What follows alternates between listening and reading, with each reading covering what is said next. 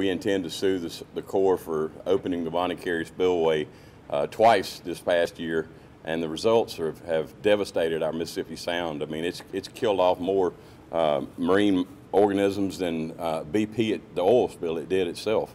And so under the, the CERCLA, that's the Superfund Act, uh, we have a duty to notify uh, the Corps of Engineers and the federal government uh, 60 days prior to filing an action. So uh, I'm announcing today, I sent the letter uh, this morning to notify the federal government that we intend to hold uh, the federal government responsible